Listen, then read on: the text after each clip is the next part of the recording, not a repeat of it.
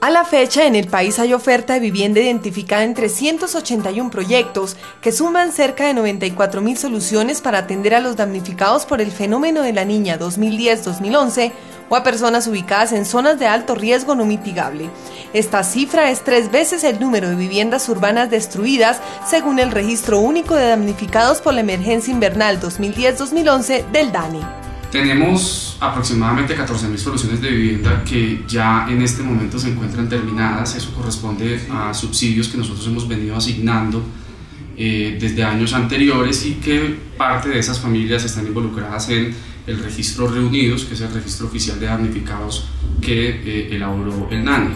Ya 3.339 hogares afectados recibieron su nueva vivienda, 10.250 casas están en construcción y 497 por iniciar obras.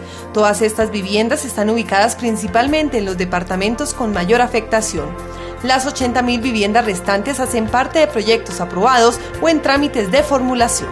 Finalizando el año pasado se aprobaron proyectos por 7.500 soluciones donde nosotros estamos colocando cerca de 60 mil millones de pesos y logramos tener recursos complementarios del Fondo de Regalías por aproximadamente 23 mil millones. Adicionalmente, se han identificado 316 proyectos en todo el territorio nacional para construir más de 72 mil soluciones de vivienda, los cuales han sido verificados o son objeto de evaluación técnica, legal y financiera por parte de FINDETER para ser viabilizados y que puedan contar con recursos del Gobierno Nacional toda la oferta de vivienda existente, más la que podamos generar en este inicio de año, eh, va a generar que el 2012 definitivamente sea el año de la atención de las familias damnificadas por la orden invernal.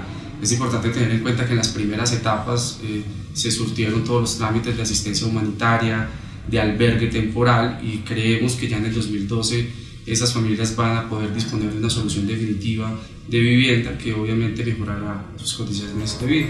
Los nuevos alcaldes y gobernadores del país se convierten en aliados estratégicos para la atención de los damnificados por las lluvias. Por eso el llamado a que los entes territoriales sigan presentando proyectos de vivienda.